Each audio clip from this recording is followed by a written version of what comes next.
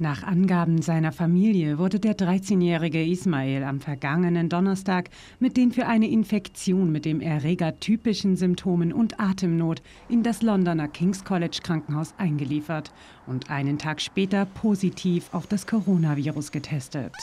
Er wurde künstlich beatmet und in ein künstliches Koma versetzt. Am Montag ist der Bub verstorben. Er ist das mutmaßlich bisher jüngste Covid-19-Todesopfer in Großbritannien. Ebenfalls am Dienstag haben die belgischen Behörden den Tod eines zwölfjährigen Mädchens nach einer Ansteckung mit dem Virus gemeldet. Vergangene Woche ist eine 16-Jährige in der Nähe von Paris gestorben.